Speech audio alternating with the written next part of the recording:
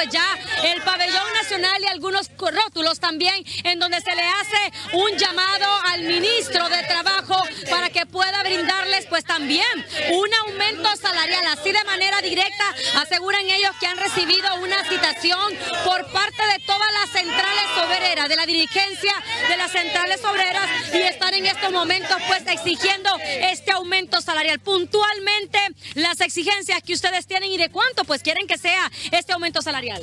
Bueno, estamos atendiendo el comunicado a nivel nacional de las centrales obreras, de todos los sindicatos, hoy miércoles a partir de las 9 asambleas informativas, exigiendo al gobierno que atienda a la comisión negociadora para que públicos.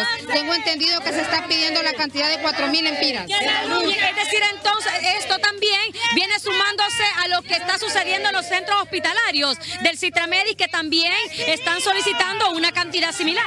Sí, así es. Es todos los sindicatos que están afiliados a las centrales obreras, dentro de ellos está nuestro sindicato, otros sindicatos y Citramedi, Citrarenape, el, sindicato de registro nacional, bueno, varios sindicatos. Bien, ¿ustedes por cuánto tiempo va a permanecer tomado obviamente con esto?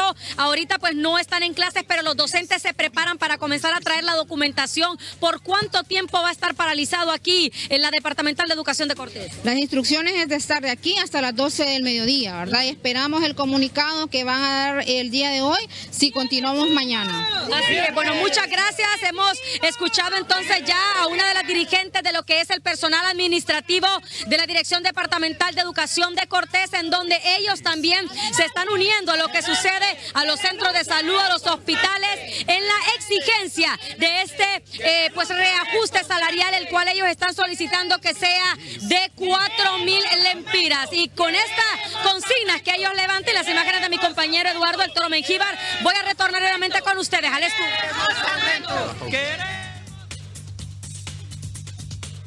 Este es un informe. Bien, gracias a nuestra compañera Sueli Cali. ¿Por qué, se, ¿Por qué se dan las protestas, ¿ves? ¿Por qué se dan las protestas Porque la gente ya está cansada.